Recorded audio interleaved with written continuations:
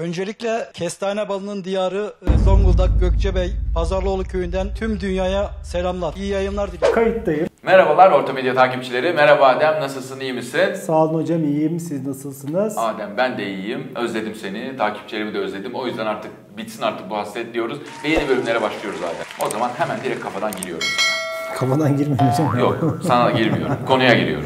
tamam. Yaklaşık birkaç ay oldu seninle görüşmüyoruz. Ben biraz araştırmalar yaptım. Çalışıyorum. Hani sadece tıpla ilgili değil, aynı zamanda paramedikal konularla da ilgili çalışıyorum. Paramedikal ne demek hocam? Yani para, yani doktor maaşlarıyla ilgili. Doğru. İki kelimeyi birleştirip anladım. Paramedikal yani doktor maaşı. Sana bugün bombastik bir bölüm hazırladım. Farklı bir alan. Tabii yine araya sevgili mucize doktorumuzu da şöyle serpiştirmek istedim. Wilhelm Röntgen, Marie Curie, Nikola Tesla. Hangi tıp bilimine en fazla hizmet etmişlerdir? Soyadı Röntgen ise hizmet ettiği branş kadın doğum olacak hali yok. Tabii ki de radyoloji. Şimdi hocam diyeceksin ki ne alakan var radyoloji? Sen ortopedist misin? Ortopedi ve radyoloji hani aklıma gelen en kardeş bölümlerden biri. Öyle söyleyeyim sana.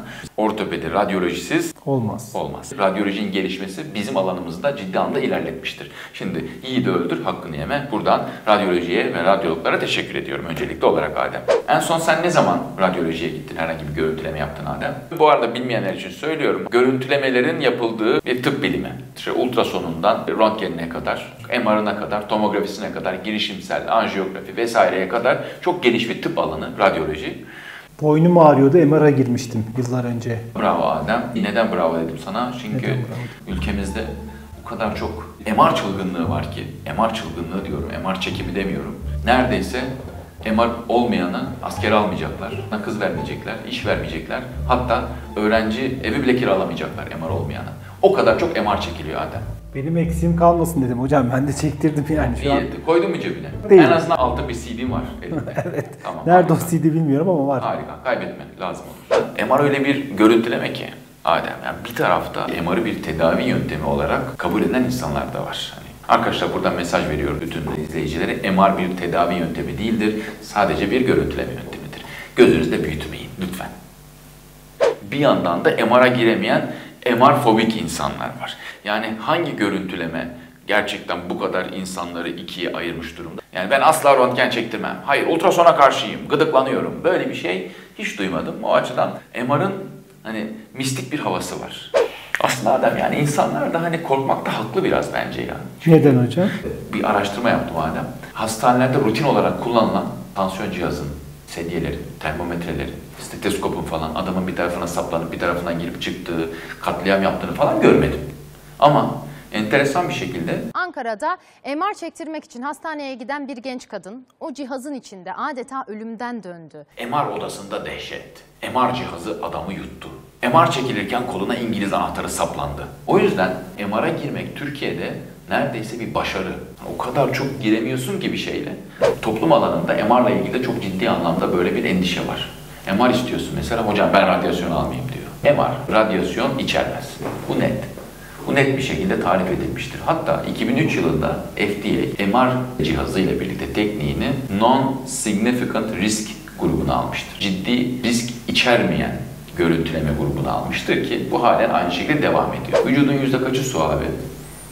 Ee, 75. Yani yaklaştın Adem. Hani vücudun yüzde 60-70'i su. Su molekülü formülü ne? Gora'da bile söylüyorlar. H2O hocam. Hah, bravo. Su molekülü içerisindeki hidrojen iyonlarının oluşan manyetik alan mıknatısla hidrojenlerin hareketinin proses edilip ekrana yansıtılması aslında. Suyu okuyor yani. Suyu bravo. Su falı. Ama böyle güzel bir şey var mı? Müslüm Gülses bana su falı bakıyor. Hayatım boyunca unutamayacağım bir anı. Öyle MR deyip geçme abi. Önüne ilikleyeceksin. MR Bey diyeceksin. Bundan sonra ona MR Bey. MR Bey hoş geldiniz. 2020'ye de baktım. Hani 2000'li yıllardakine de baktım. MR'ın sinir sistemi, üreme sistemi üzerine, gen yapısına etkisi var mı diye araştırılmış. Kalıcı hasar bırakan bir bulguya rastlanmamış. Bu kadar çok teknolojiler yüzyıllardır üzerinde çalışılan, üzerinde e, uğraşılan bir teknolojiden bahsederken ülkemizde de e, yerli MR çalışmaları son yıllarda çok ciddi hareketlendi. Ama e, ilk faaliyete geçen yerli MR'ımız geçen dönemlerde Mucize Doktor'da görücüye çıktı zaten. İzleyelim mi? İzleyelim. Peki. Şimdi burada Hastanemizin MR cihazı bozuluyor Adem. Aidatlarını veya ödemelerini yapmadıkları için MR tamir etmeye gelmiyor servis. MR cihazı bozuldu. Çünkü hastane batıyor. Ama hastane hastayı almaya devam ediyor. Acil servise gelen bir hastaya mucize doktorumuz Hastanın MR'a ihtiyacı var. MR istiyor. Ya ben hastanın ne olduğunu nasıl anlayacağım? Yani zaten hastalara biz sadece MR'la anlıyoruz gibi bir imaj verilerek sevgili Ali Vefa'da abi MR yoksa tanı koyamam diyor. Lütfen herkes iki dakika sessiz olabilir mi sen hemşire? Herkes iki dakika sessiz olsun lütfen. Lütfen. Ne yapacaksın? Gelişmiş görme, duyma ve dokunma duyularımı kullanarak hastaya MR çekmeye çalışacağım. İşte burada Adem ilk yerli MR'ımız hayata geçiyor Adem. Ne diyeyim? Bu kadar çok mühendis, bilim insanı, elektrikçi, bu kadar çok yazılımcı boşuna çalışıyor. Bizim meğersem değerini bilmediğimiz ilk yerli MR cihazımız varmış abi. Ee, herkes bakabilir mi? İki dakikacık lütfen sessiz olun. Kimse ses çıkarmasın tamam mı? Lütfen iki dakika. Aynı Bolt Pilot'ın Bolt Pilot startın önüne geldiğinde de önce startı reddeder, sessizlik isterdi. mucize doktorumuz da yerli MR cihazını hayata geçirmek için tek istediği şey ne elektrik, ne mıknatıs, ne yatak, hiçbir şey. Sadece sükunet. Şşş.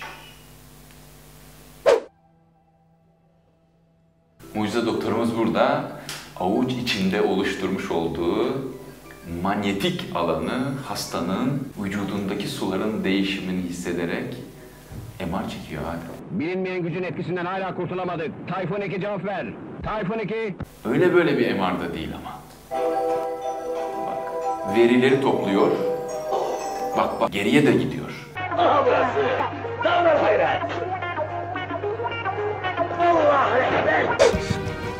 T4, T4 ile 5 vertebralar arasında çoklu çatlak var. Solda 3, sağda 2 tane totalde 5 kırık var. Şaka mı bu? Bu bir şaka olmalı. Boşuna radyoloji bölümü kurulmuş. Boşuna hastalara radyasyon veriyoruz. Her hastaneye bir mucize doktorumuz olsa ne MR'dan ne MR'ın gereksinimlerinden ve bu kadar konuştuğumuz risklerinden hiçbiri başımıza gelmez. Bir karışla işi bitiriyor. Bir karış. Bir karış. Bakayım. Tam işte bir karış. Hızlı. Vakalar yağmaya devam ediyor. Bu da diğer hasta. Apar topar acil servise bile alınmadan direkt ameliyathaneye alınıyor. Burada arkadaşlarımız bütün kıyafetiyle ameliyathaneye alınmış hastana dokunmak için sterilize oluyorlar.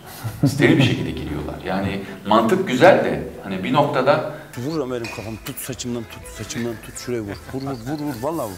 Allah aşkına. Yapma. Vur vur. Vallahi vur ya. Nedir durum? Hocam iç kanama yok da yani ne yapacağız böyle körlemesine? bilmiyorum hani aldın ama ben mi sana söyledim hastayı buraya al. Niye aldın ki buraya? Yerli MR cihazımız geliyor. Geldim hocam, geldim. Adil hocam, beni ameliyathaneye çağırdığınız için çok teşekkür ederim. Rica ederim çocuk. Hadi çabuk ben de kontrol edeceğim. Ve Adem.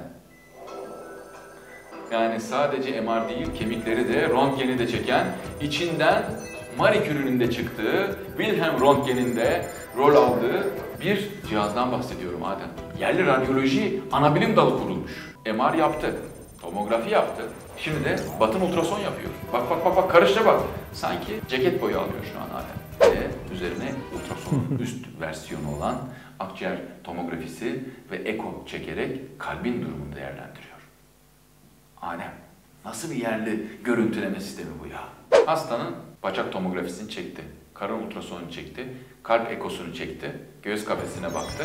Şimdi bir de şimdi beyinde bir şeyler yapıyor. Ama sol omzu çıkık ve göğsünde, göğsünde ezilme var. Kafasında da 8 santimlik bir kesik. Emin misin? Bütün bunlara baktıktan sonra bir tek bakmadığı yer olan omzunun çıkık olduğunu anlıyorum.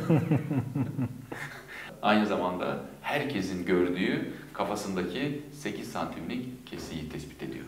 Hakikaten bu kadar ileri teknolojik bir yerli MR cihazımızın böyle basit bir tanı koyması beni hayal kırıklığına uğradı zaten. ah böyle bir MR cihazı yok. Bu olmamış MR cihazı abi. Kaldır kaldır kaldır. Siz omzu oturtun. Ortopedi pratiğinde bir şeyi oturtmayız abi. Omuzu da oturttuktan sonra tedavisi tamamlanıyor Adem. Yani Ademciğim, tabii bugün bayağı radyoloji konuştuk. Çünkü ortopedinin kardeş branşı olduğu için biraz radyoloji e, alalım dedik ama tıbbın geleceği açısından ne kadar kritik rol oynadığını görüyoruz. Gani gani bir yerli MR'larımızın olduğunu ve kullanıma başladığı günü ümit ederek bu programı sonlandırıyorum Ademciğim. Teşekkür ederim. Hocam görüşürüz.